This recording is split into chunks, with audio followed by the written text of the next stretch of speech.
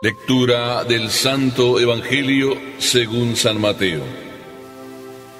Después de que los magos partieron de Belén, el ángel del Señor se le apareció en sueños a José y le dijo, Levántate, toma al niño y a su madre y huye a Egipto. Quédate allá hasta que yo te avise, porque Herodes va a buscar al niño para matarlo.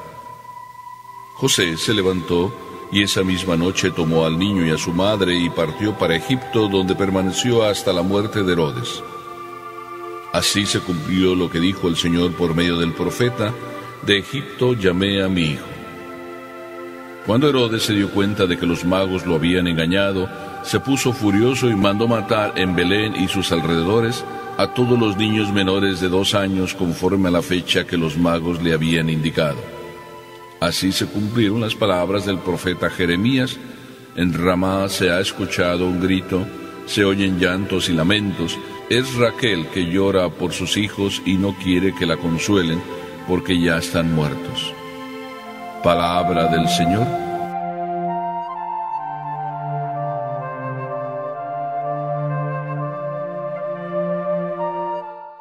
No cabe duda que Dios teje los hilos de la historia, no solo la historia de cada uno, sino Dios teje los hilos de la historia con mayúscula. Y mientras estas cosas pasan por mi mente o esta idea, también se me vienen todas esas frases que la gente normalmente dice. No importa la edad, yo las oigo de boca de jóvenes, de boca de adultos y de boca de ancianos.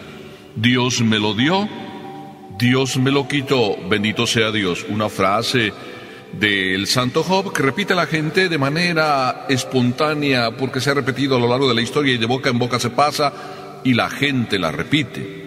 Pero también esa frase tan común, si Dios quiere, después de que decimos un deseo de nuestra voluntad, si Dios quiere, pues así será. Pero lo que más en este momento se me mete en la mente es aquella frase que me dijo un día una señora, siempre que he querido hacer las cosas, yo y solamente yo, no me han salido bien. Sin embargo, cuando le dejo a Dios actuar, sí, sí, sí, yo pongo todo lo que está de mi parte, pero cuando le dejo a Dios actuar, las cosas salen cada vez mejor. ¿Qué tal? Qué bonita frase, ¿verdad? Dicha así de la boca de una sencilla y humilde señora. Cuando le dejo a Dios hacer las cosas, siempre me han salido mejor. No cabe duda, Dios teje los destinos de la historia y nos encontramos en este pasaje tan hermoso donde se recuerda la muerte de todos esos inocentes niños que dieron la vida para que Jesús fuera salvado de esa masacre y terminara salvándonos a cada uno. Unos niños dejaron la oportunidad de la salvación que llegara a nuestras manos. Si vemos este pasaje en el cuadro en que se encuentra, entonces nos eh, complace recordar que con qué alegría estos inmigrantes, Jesús, José y María, vivían en aquel momento. Escondidos en aquella gruta de Belén, donde nadie sabía que estaba realizándose la historia de nuestra salvación. Solo Papá Dios que lo tenía bien planeado. Ah, sí, claro que sí. Y en esa cueva se vivía la alegría. La alegría porque María y José, en la humildad y sencillez de su propia vida, estaban contemplando algo sorprendente, maravilloso. Creían que su hijo era Dios, pero solo veían un pequeño, indefenso y humilde niño. Pero qué sorpresa tan maravillosa les trajeron los pastores.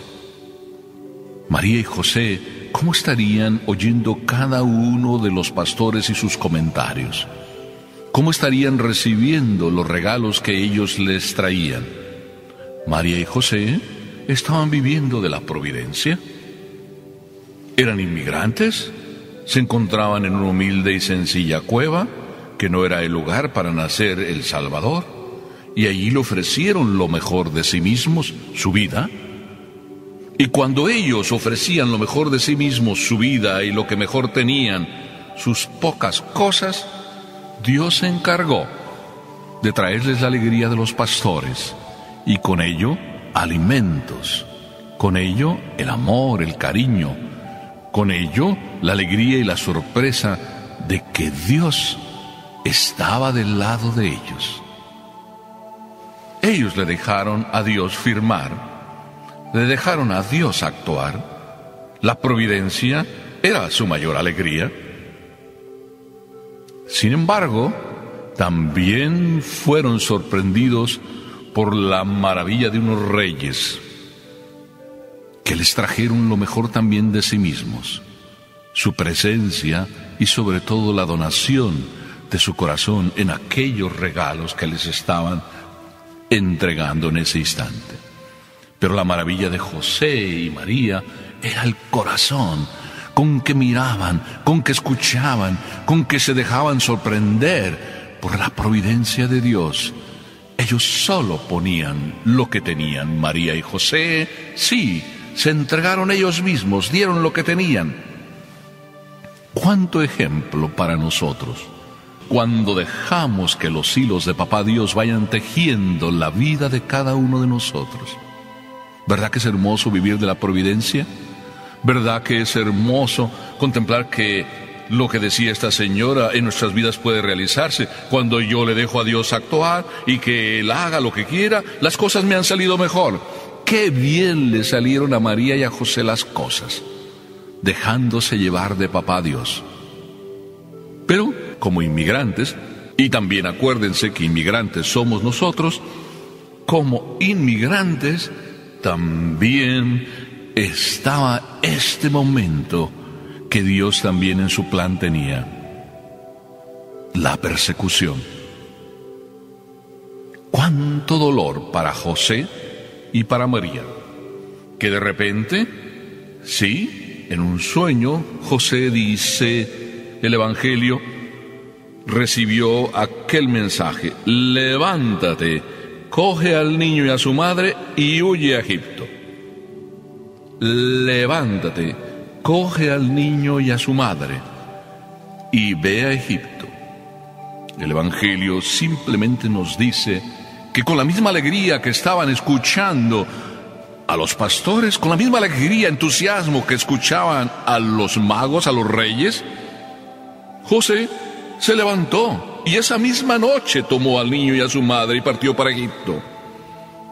La persecución no trajo a José y a María más que simplemente el disgusto o si quieren ustedes el desconcierto de moverse del lugar, que siempre es incómodo. Pero para un inmigrante moverse del lugar es parte como de la vida.